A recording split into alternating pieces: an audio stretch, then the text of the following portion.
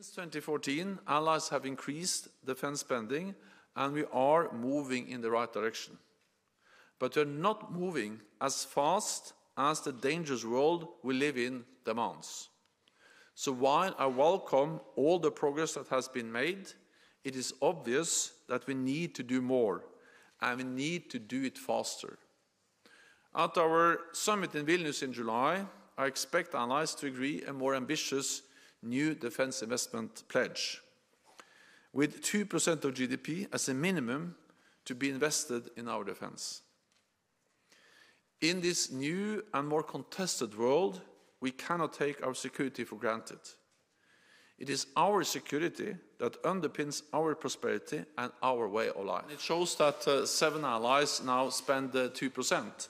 Uh, uh, we actually expected that to be slightly more uh, earlier, but because GDP has increased more than expected for a couple of allies, two allies that we expected to be at 2% are now slightly below 2%.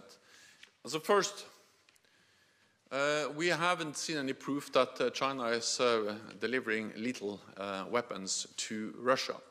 Uh, but we have uh, seen some signs that this has been a request from Russia and that this is an issue that is, is, is considered um, in Beijing or by the Chinese authorities.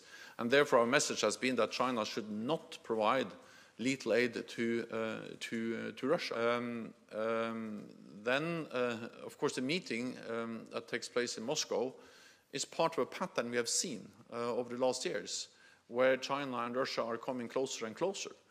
we have to remember that just a couple of weeks, a few weeks before the invasion last February, President Xi and President Putin met in Beijing, uh, where they signed a joint declaration promising each other uh, a partnership without any limits. Um, and, uh, and we see how China and Russia are uh, coming closer and closer in the military domain. They have uh, joint exercises, joint patrols, naval and air patrols uh, in the economic domain and also in the political and diplomatic domain.